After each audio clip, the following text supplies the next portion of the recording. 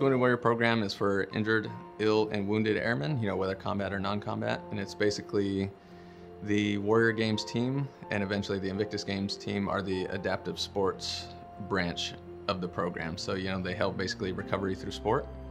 So I was injured. I've been injured a few times, you know, nothing too major, but I got hurt in 2012 and needed some reconstructive surgery on both my knees.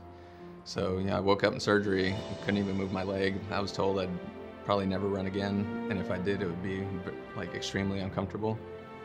So, you know, I started my rehab as a long couple years, and then eventually I saw, you know, the Warrior Games and the Air Force Wounded Warrior program, like the adaptive sports side of it, and it definitely interested me. So, I started pursuing that, working towards that, and in 2017, I actually tried out and I made the Warrior Games team for the Air Force.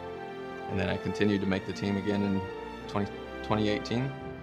And then from there, I put in an application for the Invictus team to represent Team USA. So, you know, that's it's kind of a, a, big deal. I really enjoy sports. They definitely, you know, help me through my recovery, my rehab, and give me motivation, giving me a sense of being part of a team again.